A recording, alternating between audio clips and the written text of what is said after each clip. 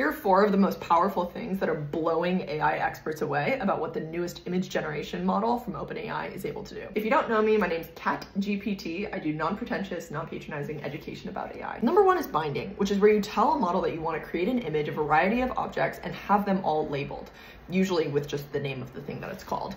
This is something that models, image models, have been surprisingly bad at since we started making them. The new model isn't perfect, but it's pretty darn good. Number two is creating an array of items. In the past, if you've asked a model to create a list of 30 very specific items, like a vintage stamp, a red thumbtack, a tiny purple hat, the model would get some of them and then it would duplicate a bunch, miss many, and then usually add in a lot of random extra stuff. The new image model is doing better job than ever at actually sticking to the ones that you asked for. This might not seem as practical, but it indicates the model's greater ability to follow instructions, which is super important. Which flows into number three, which is creating discrete objects. Here's what you got before if you asked a model model to create an image of numbers 1 through 10, each number a different color. Garbled, unreal numbers, way too many numbers, messed up sequencing, overall, overcomplicating and missing the mark on a task that a three-year-old could do. And fourth and finally is maintaining awareness of space. For example, previously, if you uploaded this photo of an empty room and asked AI to add furniture to it, you would get something like this. Completely changes the room, completely changes the angle of the photo, and obviously looks very AI. Now,